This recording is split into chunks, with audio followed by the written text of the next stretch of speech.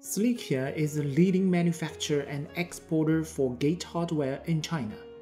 We have been working in the industry for over 20 years and have specialized in the art of making various types of gate hardware.